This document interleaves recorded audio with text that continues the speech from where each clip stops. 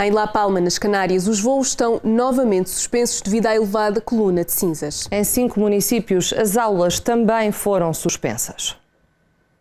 O vulcão de La Palma aumentou a emissão de cinzas nas últimas horas, o que afeta principalmente o oeste e noroeste da ilha, em especial intensidade em Los Llanos de Aridan, situação que já levou o governo das Ilhas Canárias a suspender as aulas presenciais nas escolas de cinco municípios de La Palma. Também por causa da quantidade de cinzas no ar, os voos para a ilha foram suspensos.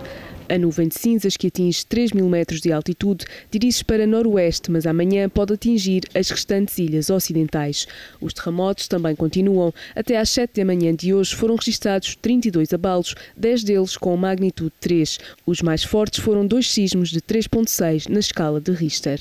A partir desta terça-feira, as vítimas afetadas pelos estragos do vulcão já podem pedir apoio ao governo, ajuda que irá servir para a reconstrução económica e social da ilha. O ministro do Interior Interior espanhol garantiu que os apoios na ilha de La Palma só vão terminar quando as últimas pessoas afetadas recuperarem a normalidade roubada pelo vulcão.